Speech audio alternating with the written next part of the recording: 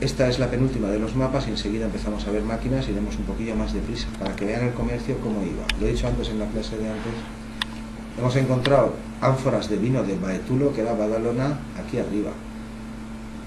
Porque había un tráfico enorme. El vino de España y el de Mauritania, Tinquitania, y también algunos de Narbona y Catalán. Bueno, por todas partes se hacía un poco de todo. Pero en especial el vino de estas zonas y el garum.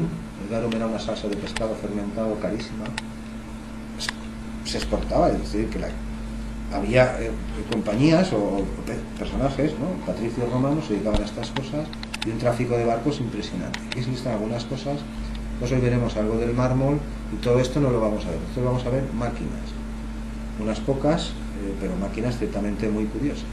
Es para dar una idea de que no estamos hablando de un país o de un no sé si es el imperio más, creo que no es, el más grande creo que fue el de, Alejandro Magno o el de Atila, uno de esos, el de la historia. Pero claro, pues toda Europa, todo el Mediterráneo, Mare Nostrum, de eso estamos hablando.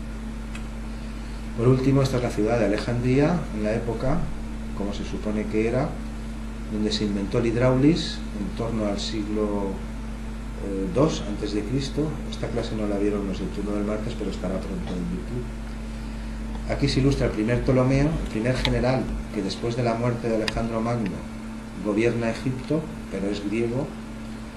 Esta es la escuela de Atenas, es un cuadro moderno, y este es Herón de Alejandría, otro de los eh, que trabajaron con este tipo de dispositivos. Aquí se ilustra un hidráulis, un órgano eh, con más o menos tubos, que es una representación artística, y un sistema con dos émbolos a los lados y una palanca que insufla aire dentro del órgano, ahora lo veremos.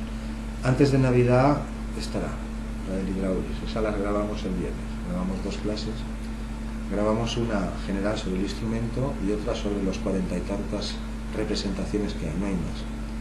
De casi, bueno, el hidráulis no tiene mil años, eh, el mundo greco-romano sí, sí que duró mil años, el hidráulis pues se inventó en el siglo II antes de Cristo más o menos, pues tiene un poco menos. Y esto de aquí es la máquina de Antiquitera, un reloj astronómico, que en un momento lo vamos a ilustrar. El primer gobernante del Egipto tolemaico, la última Cleopatra, y empezaremos a ver estos artefactos.